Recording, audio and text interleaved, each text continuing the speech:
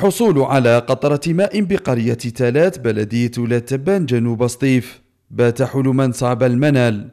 فعلى سكان هذه المنطقة المهمشة التنقل لمسافات طويلة في هذه التضاريس الجبلية الوعرة. راك تشوف المعاناة مزلنا نسقيو على على الدواب حاشاكم مزلنا نسقيو في البرويطة. ما هذيك الماء ديجاني ندير ثلاث فياجات في النهار.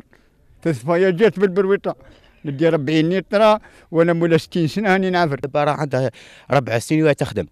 والو راه لا غاز لا هذا كلش على ظهورنا. هنا الحياة أشبه بمعيشة البدائيين فالحطب للتدفئة في المنازل دون الغاز الطبيعي زاد من معاناة السكان. لو نبداو إحنا نشكيو من الشيء اللي رانا فيه نحماو على الحطب سبحان الله. في الشتاء نحماو على الحطب.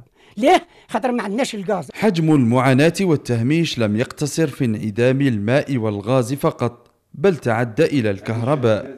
فأغلب البيوت ما زالت تستعمل الشموع واللوازم التقليدية في الإنارة.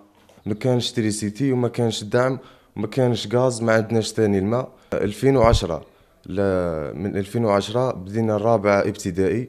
جبت سيزيام بلا تريسيتي على ضوء الشموع بعد رفع هذه الانشغالات للمسؤولين يقول رئيس بلدية تبان لقناة الشروق. حد الآن العملية راهي ماشية الملف راه على مستوى المصالح نتاع مديرية الطاقة والصوني الغاز راه فد لجنة إلى عين المكان وقامت بإحصاء المساكن الشاغرة والمساكن المشغولة. على مستوى بلدية تبان بما فيها قرية تالات والقرى المجاورة أكثر من 200 أكثر من 200 اللي يستاهلوا الربط بالكهرباء. وتبقى هذه القرية خارج مجال التنمية إلى غاية تدخل الجهات الوصية لتلبية مطالب السكان.